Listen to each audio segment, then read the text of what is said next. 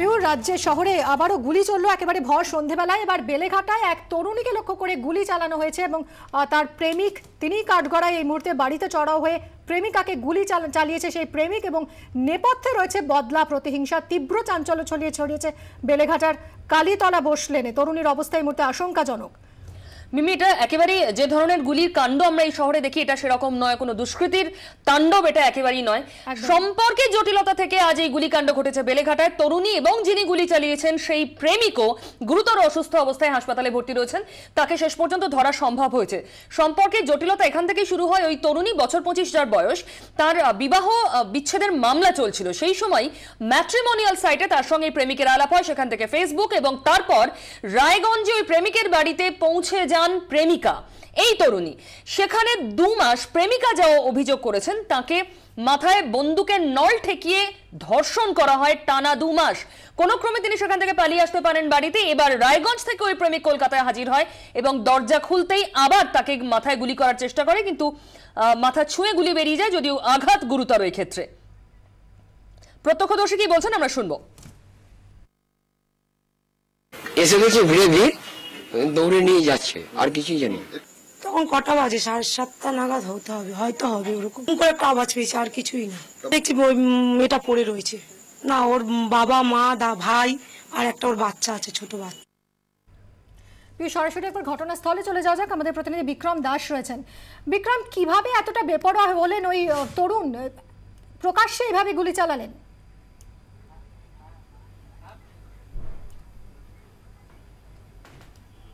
একেবারে নাটক নাটকীয় ঘটনা, তার কারণ তোমায় জানাব যে সন্ধ্যে সাড়ে সাতটার সময় একজন যুবক, আমি ঠিক যেখানে দাঁড়িয়ে আছি, সেইখানে এসে হাজির হয় এবং আমি আমার ক্যামেরাম্যান অরিন মুখার্জিকে দেখাতে অনুরোধ করব।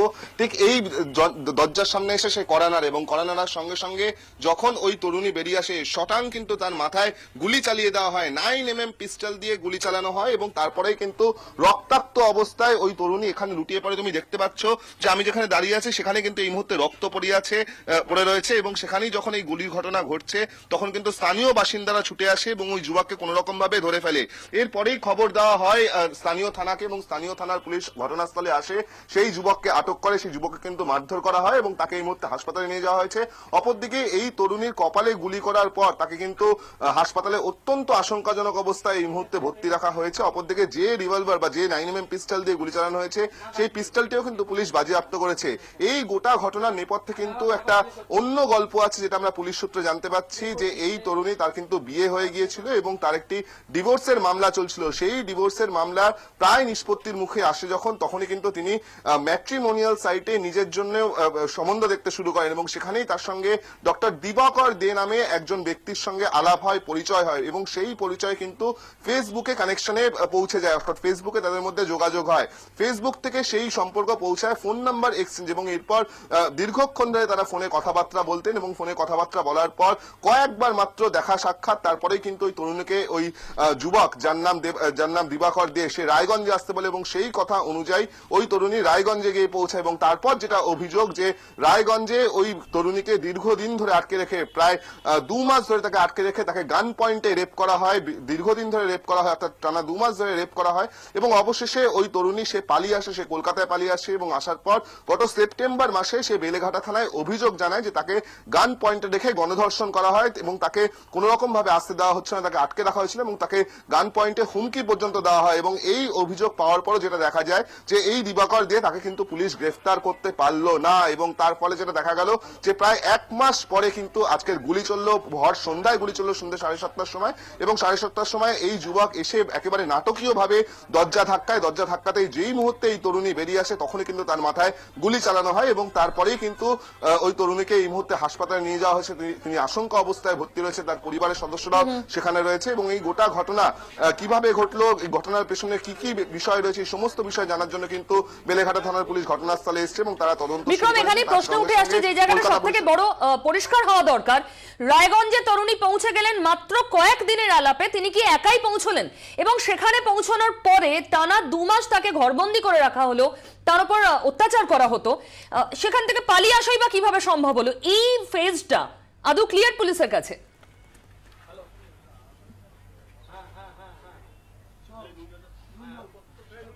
দেখো, এই ফেসটা কিন্তু পুলিশ কলকাতা পুলিশ জানে, কারণ কলকাতা পুলিশের কাছে গত সেপ্টেম্বর মাসে বেলেঘাটা থানায় অভিযোগ দায়ের করেছিল তরুণী। সেই বিষয়ে আমি আসব, তুমি এই মুহূর্তে দেখতে পাচ্ছ যে কলকাতা পুলিশের যারা আধিকারিক, যারা গোয়েন্দা বিভাগের আধিকারিক এবং বেলেঘাটা থানার পুলিশ, তারা কিন্তু এই মুহূর্তে নমুনা সংগ্রহ করছে, কারণ ওই তরুণীকে কিন্তু যেই অবস্থায় নিয়ে যাওয়া হয়েছে হাসপাতালে, সে আশঙ্কাজনক অবস্থায় ভর্তি করা হয়েছে। একবারে পয়েন্ট ব্ল্যাঙ্ক রেঞ্জে কিন্তু নাইন এম এম পিস্টল দিয়ে সরাসরি কপালে গুলি করা হয়েছে এবং সেক্ষেত্রে যে অভিযুক্ত ব্যক্তি, সে কিন্তু একেবারে এই মোটিভ নিয়ে, এই উদ্দেশ্য নিয়ে এসেছিল। যে তাকে মারবে তাকে খুন করবে এবং সেই অনুযায়ী কিন্তু সে পয়েন্ট ব্ল্যাঙ্ক রেঞ্জে গুলি চালায় এবং তুমি দেখতে পাচ্ছ যে কলকাতা পুলিশের আধিকারিকরা এই মুহূর্তে সেই নমুনা সংগ্রহ করছে রক্তের নমুনা সংগ্রহ করছে এবং পাশাপাশি কিন্তু পারিপার্শ্বিক যে এভিডেন্স সেই এভিডেন্সও তারা কালেক্ট করছেন। তার সঙ্গে সঙ্গে তোমাকে যে যে বিষয়টা আমি বলছিলাম যে ভারত যে যে একটি ম্যাট্রিমোনিয়াল সাইটে কিন্তু পরিচয় হয় দুজনের এবং সেই ম্যাট্রিমোনিয়াল সাইটে পরিচয় হওয়ার পর ফেসবুকে সেই সেই সম্পর্ক এগোয় এবং তারপরেই কিন্তু ফোন নাম্বার তোমাকে একটু বিরত করছি সেই তরুণীর ছবি এই মুহূর্তে দর্শকরা দেখতে পাচ্ছেন, চব্বিশ ঘণ্টার পর্দায়। বছর পঁচিশের এই তরুণী এই মুহূর্তে আশঙ্কাজনক অবস্থায় হসপিটালাইজড বিক্রম।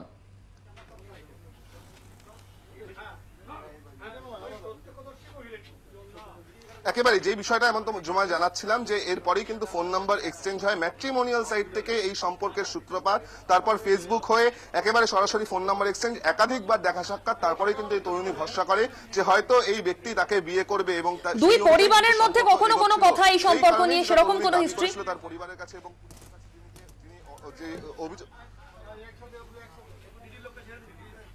দেখো, পরিবারের সদস্যরা কিন্তু জানতো না, কিন্তু এই তরুণী, সে নিজেই নিজের একটি ম্যাট্রিমোনিয়াল সাইটে একটি একটি প্রোফাইল খুলেছিল এবং সেই প্রোফাইল খোলার পর কিন্তু সে এই দিবাকর দে ডক্টর দিবাকর দে বলে যে প্রোফাইল রয়েছে তার সঙ্গে তার আলাপ হয় এবং তারপর থেকেই কিন্তু সম্পর্ক এগোতে থাকে এবং সম্পর্ক এগোনোর পর যেটা দেখা যায় যে তরুণী এতটাই বিশ্বাস করতে শুরু করে এই যুবককে যে সে সরাসরি তার বাড়িতে পৌঁছে যায় রায়গঞ্জে পৌঁছে যায় এবং সেখানে কিন্তু যেটা তিনি অভিযোগ করেন যে তিনি কিন্তু বিয়ের জন্য বিয়ের জন্য একটা সম্পর্ক যাতে তৈরি হয় সেই কারণে কিন্তু তিনি সেখানে গিয়েছিলেন কিন্তু পরবর্তী ক্ষেত্রে তিনি যেটা অভিযোগ করেছেন সেপ্টেম্বর মাসে বেলেঘাটা থানায় যে তাকে কিন্তু জোর জবরদস্তি সেখানে আটকে রাখা হয়। দিনের পর দিন তাকে ধর্ষণ করা হয় এমনকি গান পয়েন্টে ধর্ষণ করারও অভিযোগ তিনি করেছেন। কিন্তু সব থেকে উল্লেখযোগ্য বিষয় তোমাকে বলব যে সেপ্টেম্বর মাসে বেলেঘাটা থানায় এই অভিযোগ দায়ের হলো। তারপর থেকে কিন্তু এত গুরুতর অভিযোগ থাকা সত্ত্বেও পুলিশ অভিযুক্তকে গ্রেফতার করতে পারল না। অর্থাৎ যে ব্যক্তি দিবাকর দে তাকে কিন্তু পুলিশ গ্রেফতার করতে পারল না এবং অবশেষে এক মাসের বেশি সময় গড়িয়ে গেল তারপর রায়গঞ্জে গিয়ে যুবকের বাড়িতে থাকতে শুরু করলেন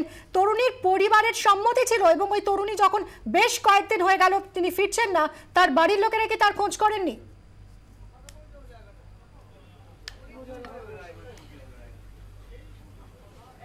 একেবারে সেই অভিযোগও কিন্তু দায়ের হয়েছিল। বেলেঘাটা থানায় এই এই ধরনের একাধিক অভিযোগ দায়ের হয়েছে এবং তরুণী যখন পালিয়ে আসে, অর্থাৎ রায়গঞ্জ থেকে সে যখন পালিয়ে আসে, তারপর কিন্তু সে যে অভিযোগ করেছিল, সেই অভিযোগে গোটা বিবরণ তিনি দিয়েছিলেন। তিনি এই বিষয়টা উল্লেখ করেছিলেন যে তার সঙ্গে একটি মেট্রিমোনিয়াল সাইটের মাধ্যমে আলাপ হয় ফেসবুকের মাধ্যমে সেই বন্ধুত্ব গড়ায়। অবশেষে একাধিকবার দেখা সাক্ষাৎ হয় এবং একটা বিয়ের কথাবার্তাও তাদের, তার নিজেদের মধ্যে ঠিক করে নিয়েছিল কিন্তু গোটা পরিবার কিন্তু এই বিষয়ে সম্পূর্ণভাবে জানতো না এবং তরুণী একতরফা ভাবে রায়গঞ্জে সে চলে যায় এবং সেই যুবকের আমন্ত্রণে সে যায় তারপরেই কিন্তু এই ঘটনা ঘটে এবং অবশেষে সে যখন পালিয়ে আসতে পালিয়ে আসতে সক্ষম হয় তখন আসার পরে কিন্তু সে সরাসরি বেলেঘাটা থানায় গেছিল এমনকি লালবাজারেও গোটা ঘটনা জানতে পারল। অর্থাৎ উমেন্স গ্রিভান্স সেলও কিন্তু এই ঘটনার তদন্ত শুরু করল কিন্তু তারপরেও এই অভিযুক্ত ব্যক্তিকে গ্রেফতার করতে পারল না পুলিশ এবং এই অভিযুক্ত দিবাকর দের গ্রেফতার কোনো ট্র্যাক রেকর্ড যে কাজ সে করেছে অত্যন্ত আক্রোশে। হঠাৎ কারণ মাথায় গুলি চালিয়েছে না? এরকম কোনো হিস্ট্রি আগেও রয়েছে দিবাকরদের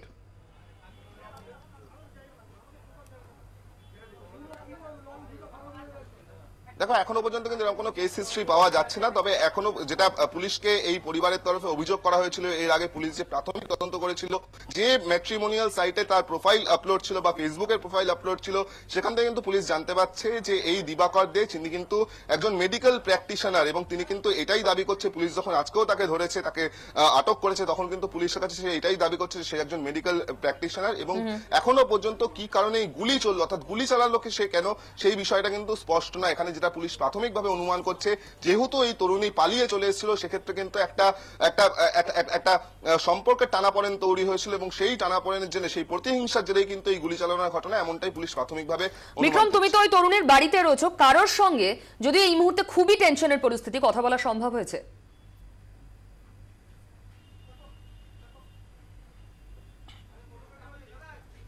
দেখো তরুণীর পরিবারের সদস্যরা কিন্তু এই মুহূর্তে কথা বলতে পারছেন না কারণ তারা সবাই এই মুহূর্তে তরুণীর সঙ্গে রয়েছেন। হাসপাতালে গেছে তুমি নিশ্চয়ই বুঝতে পারছ যে তরুণীকে পয়েন্ট ব্ল্যাঙ্ক রেঞ্জে নাইন এম পিস্টল দিয়ে গুলি চালানো হয়েছে এবং সরাসরি তার কপালে গুলি লাগে এবং সেক্ষেত্রে কিন্তু তার এই মুহূর্তে অত্যন্ত আশঙ্কাজনক অবস্থা। একেবারেই বিক্রম অত্যন্ত আকস্মিক ঘটনায় খুব স্বাভাবিকভাবে প্রতিক্রিয়া পাওয়া যায়নি। তুমি তো আছোই ঘটনাস্থলে।